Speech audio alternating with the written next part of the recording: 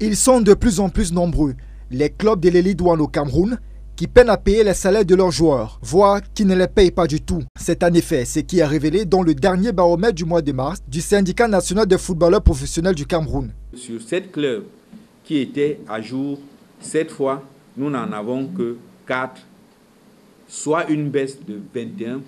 C'est-à-dire que nous étions à un niveau A le mois dernier.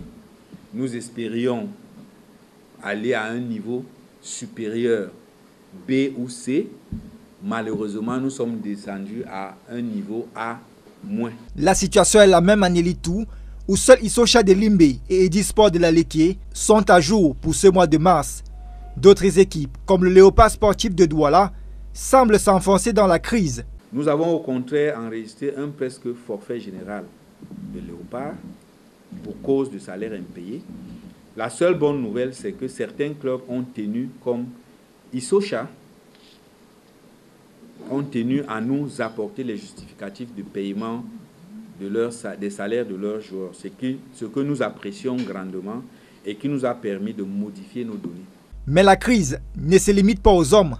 Dans le championnat de football féminin en Super League, le Sinafoc rapporte qu'aucune joueuse n'a touché le moins de sous depuis janvier dernier.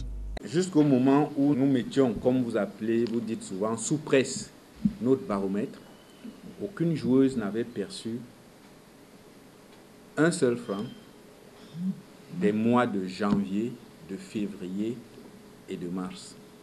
Et nous disons que cela est inacceptable, cela est intolérable.